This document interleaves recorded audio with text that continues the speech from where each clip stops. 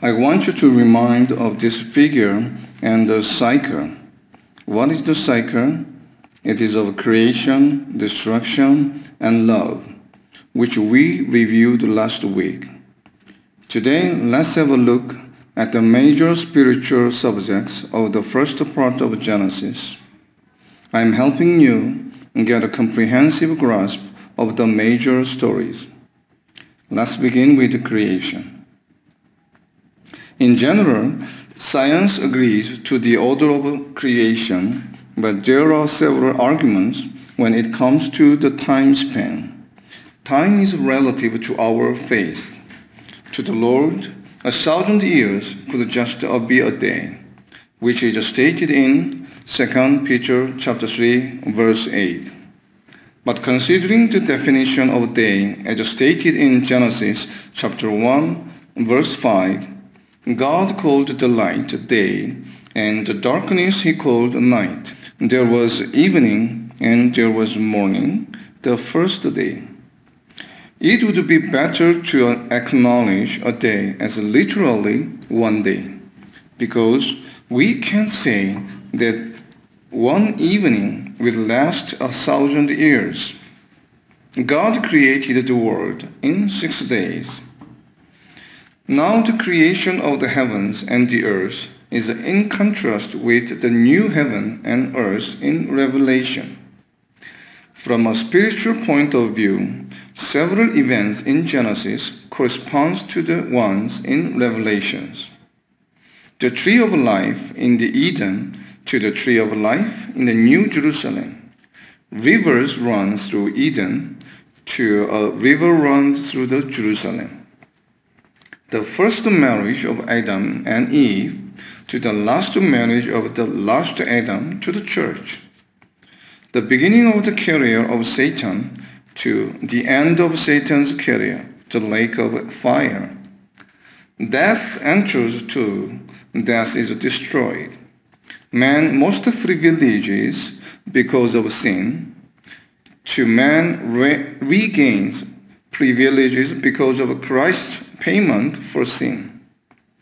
Beginning of sorrow, pain, and death, to Christ wipes away all tears. The first murder to no more death. The beginning of Babylon to Babylon's destruction. Okay, hold this and we will talk about detail in Revelation class. Let's first look at structures of the days of creation. I'm going to categorize the six days of creation into two parts. The first three days correspond to the last three days, respectively. The first day to the fourth day, the second day to the fifth, and the third to the sixth. All three days on the left, respectively, provide the facilities for the creatures on the right side.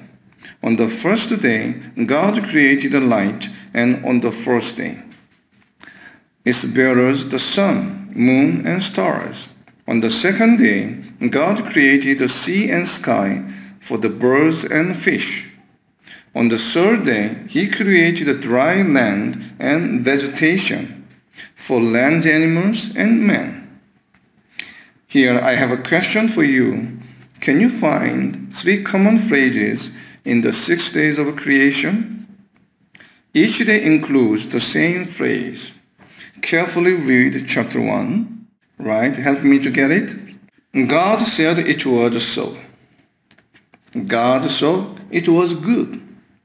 There was evening and there was morning, followed by the first day or the second day, etc. When God says something and follows it by just saying, then it's done. It shows God is almighty or his power.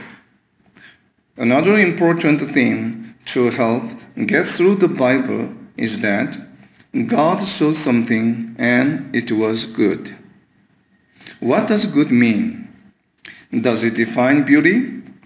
We can't know the exact definition in this context, but we can presume that it was pleasing the Lord's eyes. He may feel happy when he looks over his creation. Right?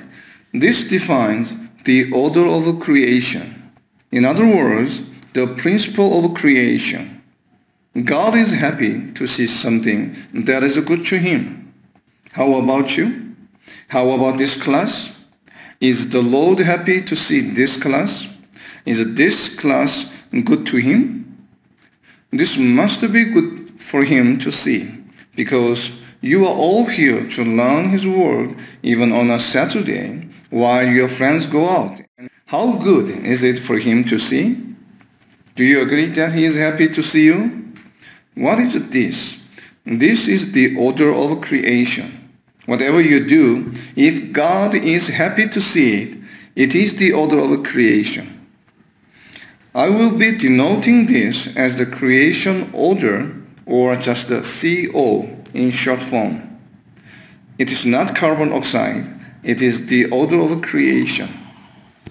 I'm going to talk about one more point in relation to religious festivals, the Passover, the unleavened bread, the harvest, the ingathering and the Sabbath, and atonement. These feasts were predetermined by the Lord during his creation. Look at the first day, signed to mark seasons. The equivalent Hebrew word translates to a religious festival, as seen in Colossians chapter 2, verse 16. Religious festival a new moon celebration or a Sabbath day. Verse 17 states that it is the shadow of Christ. Please remember this. It is the shadow of Christ. Religious festival seasons is the shadow of Christ. Keep this in mind. I will be going over this in detail in the class of Leviticus. After creating man, God gave him five responsibilities. B, I, F, S, R. This is the first creation from nothing and the order of creation. The first affair between man outside Eden was occurred by Cain and Abel. Let's see it. Adam had two sons, Cain and Abel after he was banished from Eden. God took Abel's offering with a favor, but did not take Cain's offering. Cain was angry and was banished from God's presence. Then he built a city and named it after his son Enoch. The name Enoch means the first, and the city was the first of its kind built by man from a spiritual point of view, this was against Eden. Its origin was humanism. Lamech, the fourth descendant of Cain, had two wives. Again, from a spiritual perspective, this was not good for the Lord to see. What does this signify? Destruction of the order of creation. Furthermore, he murdered and boasted to his wives. He claimed 77 times of vengeance for his death. But I can't be sure if it was God's command, covenant or not, because there is no any information on this in the Bible. Lamech had three sons, and all three of them became the father of ungodly things, non-vegetarians, entertainers, and weapon makers. It is easy to understand that entertainment and weapons are ungodly things. But why is meat ungodly? Because God only allowed us to eat after the flood. Genesis chapter 9, verse 3 Everything that lives and moves will be food for you. Just as I gave you the green plants, I now give you everything. He only gave us vegetation on the third day of creation. This is the love of God. He restored the broken order of creation after Jabal broke the creation order by eating meat. God restored it by allowing Noah to eat meat. Why did he do this? Because he loves us. As I said on the first slide, this is a repeating cycle of God's dealings with man, creation, destruction, and love. If you read the Bible with this kind of understanding, you will earn grace and be able to taste the sweetness in your tongue. This is a way to get through the Bible. How to connect one event to another. Do you follow? Who is Seth? Many people often miss a simple but very important detail on his birth. Do you know the story of his birth? He was born in the image of Adam and his likeness. This is a significant detail because it means that he was born in the likeness of God. On the contrary, Cain was born as a man-child as stated in Genesis chapter 4 verse 1 of New American Standard Bible translation. In NIV and KJV, the Amen. That is why we can assume that Seth's descendants were the children of God, the Son of God. Also notice his son, Enosh. Why does the chapter introduce him towards the end? It is because during his time, the people started calling on the Lord. From a spiritual point of view, there is an interesting story on Seth's descendants. Some of Seth's descendants have the same name as some of the Cain's descendants, Enoch and Lamech. Enoch was the fourth descendant of Seth. As you may well know, God took him into heaven while he was still alive. Was it the first time this happened? Yes, it was the first time a man ascended into heaven alive in human history. This is why his name is Enoch, which means the first.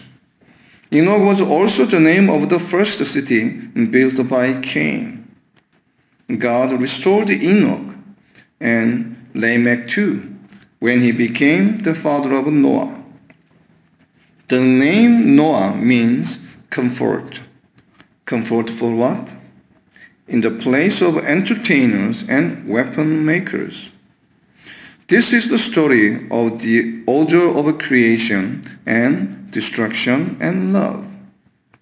Now let's move on the flood. This overview tells us the spiritual message from the account of Cain and Abel. Spiritually, chapter 7 is a turning point on the subject of the first part of Genesis. It starts from creation to Noah's history. The history begins with the flood. Please take a look at the process of the flood in a snapshot entering the ark to the burnt offerings. Entering ark, flooding, resting on the mountain, receding of waters, burnt offering, covenant of a rainbow. The chapter 7 and 8 tell us many dates and durations, which may cause some confusion. Is the 40 days raining a part of 150 days flooding or not? For this, the Lord gave us exact days of the events, which are in red color. The calculated days by the durations are in blue color. Can you take a guess at how long the story lasts? How many days? A year and 10 days after the flood, and 377 days after entering the ark, 40 days raining until March 27, and 150 days flooding. It means the flood has been for 110 days after rain had stopped it. Now, how many days the water has been receding after resting on the mountain? 220 days. This was much longer than the flood. 70 days more for the recovering. I have a question for you. How many couples of each animal were on board the ark? Two? One?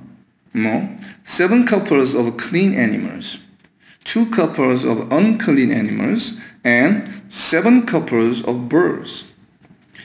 Why is there a difference in the numbers of couples? Personally, I think that it was because of burnt offerings, since only clean animals were sacrificed for burnt offerings. This is the story about God's love and new beginning. What was the reason for the flood? It was because of the people's corruption, of whom God's sons, and of course, Son of Man. Here, who are God's sons? This is about the passages that include the sons of the Lord. There are a total of 11 pa- passages in the KJV, 6 in the NIV, 10 in the ASV, and again 11 in the ESV. Please ignore the remaining Korean translations. From summing up all these passages, you can already presume that they might be the sons of Seth. Of course, there still are various opinions from scholars. But if you look at uh, Genesis chapter 4 verse 1 and chapter 5 verse 3, you will be assured. In Genesis chapter 5 verse 3, Seth was born in the image of Adam, and I was saying Cain was born as a man in Genesis chapter 4 verse 1. What was in, in the NASB translation? A man-child for the king. This is just for your reference. That's why, personally, I presume sons of the Lord is the descendants of Seth. Usually, most people remember the covenant given to Abraham, but God made 12 covenants in the book of Genesis alone. How many people got God's covenant? Yes, six people. Who were they? The first was Adam, then Noah, Abraham, Isaac, Ishmael, and then Jacob. It is interesting that Ishmael also had a covenant. He had three and all three times were indirect through his mother Hagar twice and once through his father Abraham. Can anyone guess who got the most number of covenants? Yes, Isaac. But as you may know, the story on him in Genesis is the shortest. His story only covers three chapters, while the rest have an average of 10 chapters each. Why is this? Try and find the answer while you're reading those chapters. We will get to them next class. Please go over these covenants for a minute.